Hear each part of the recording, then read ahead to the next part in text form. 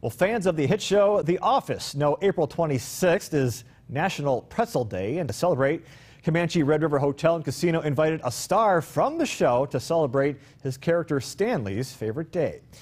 Casino officials will host a celebrity meet and greet with actor Leslie David Baker, who brought Stanley to life next Friday, April 26th.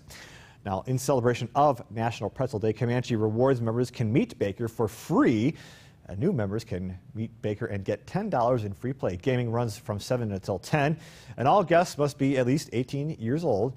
For more info on this event, you can visit Texoma's homepage.com.